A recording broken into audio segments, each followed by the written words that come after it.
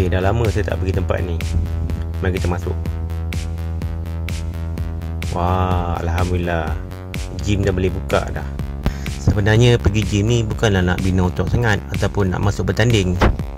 Cuma kita nak maintain tahap kesihatan kita, kecergasan dan look steady. Kita kena ingat dengan bersenam juga mampu untuk membina imun badan secara semula jadi. Kita ikhtiar saja, selebihnya serah pada Allah.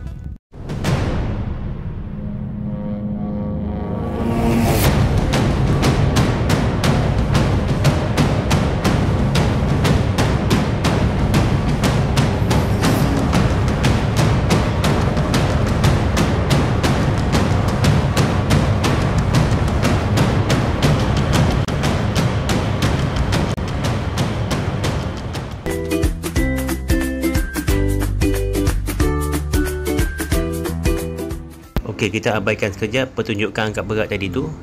Okey, hari ni saya nak masak udang goreng kunyit campur kacang buncis. Kita mulakan dengan membasuh udang, kemudian kita tumbuk kunyit hidup yang dicampur dengan garam.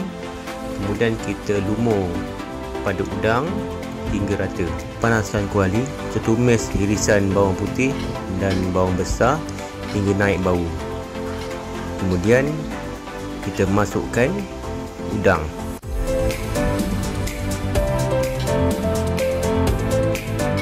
Kita kacau-kacau sikit dan air sekali kita masukkan kacang buncis.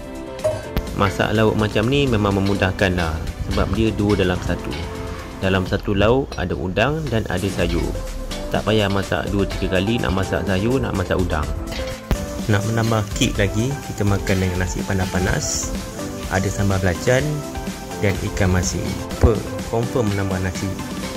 Okey, agak-agak dah masak, kita padamkan api. Okey, siap. Udang goreng kunyit campur kacang buncis. Jom kita makan.